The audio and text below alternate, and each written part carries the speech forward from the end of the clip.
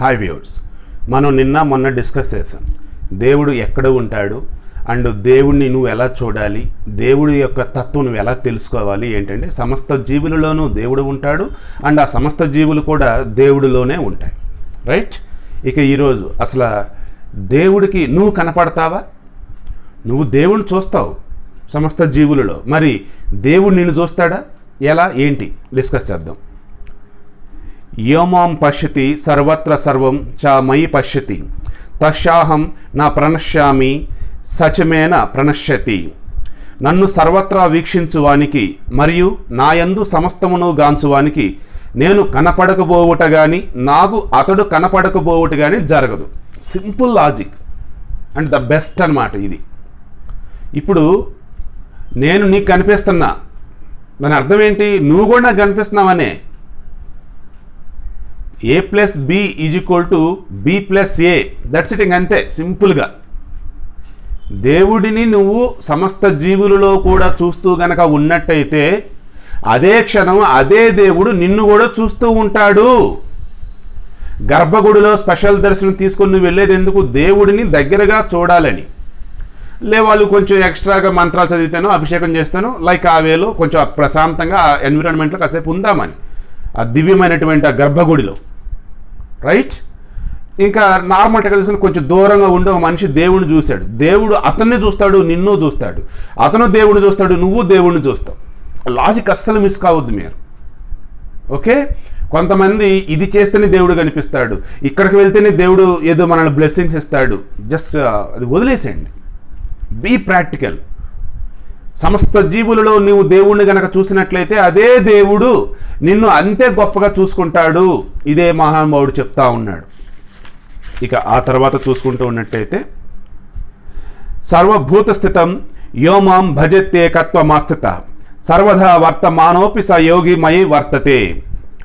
నేను మరియు హృదయస్థ పరమాత్మ ఇరువురము ఏకమేనని ఎరిగి పరమాత్మ భజనయందు నియుక్తుడైన యోగి అన్ని పరిస్థితుల ఎందును నాయందే నిలిచి ఉండును. దేవుడు నేను నిన్ను చెప్పాను కదా మన హృదయం నందు దేవుడు ఉంటాడయ్యా పరమాత్మ అతను నువ్వు మేల్కొలుపు మేల్కొలుపు మేల్కొలుపు అంటూ ఉన్నా. అతను కానీ అదేవిధంగా గర్భగుడిలో ఉన్నటువంటి దేవుడు కావచ్చు ఎక్కడో స్వర్గంలో ఉన్నటువంటి దేవుడు కావచ్చు. ది బోత్ ఆర్ వన్ అంతే. వాళ్ళిద్దరు కలిపి ఒకటే. అది గనక నువ్వు గనక తెలుసుకోగలిగితే ఇక నువ్వు యోగి అన్నటువంటి అర్థం ఏదైతే ఉందో దానికి నువ్వు సార్థకత చేకూరుస్తావు. అదే చెప్తూ ఉన్నారు. ఆత్మోపమేన సర్వత్రా సమం పశ్యతి అర్జున? సుఖం వాయది వా దుఃఖం? స యోగి పరమోమత లేదంటే దీన్ని ఇలా కూడా చెప్పొచ్చండి.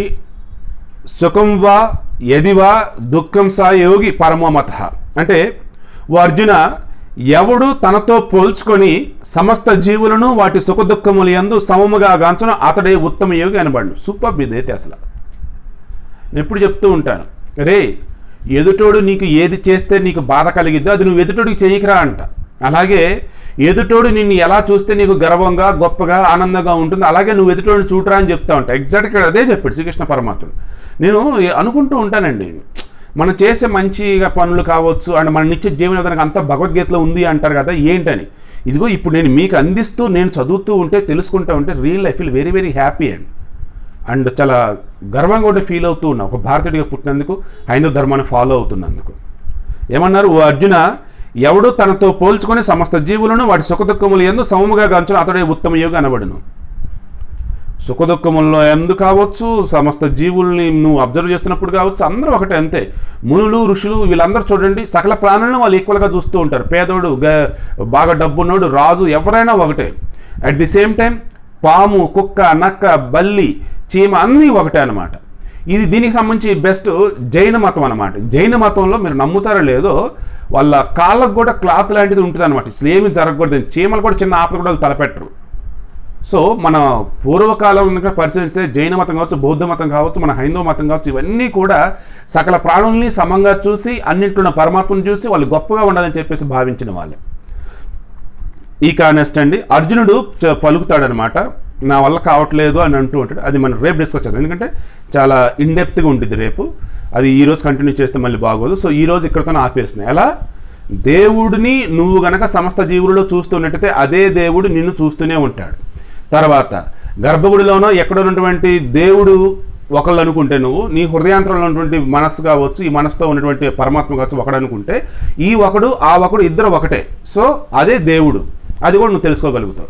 తర్వాత సకల జీవులను నువ్వు గనక ఈక్వల్గా గనక చూస్తూ ఉన్నట్టయితే నువ్వు ఉత్తమ యోగిగా మారినట్టే. సింపుల్ ఈరోజు చెప్పినవి. ఖచ్చితంగా చాలా హెల్ప్ అవుతాయి మీకు.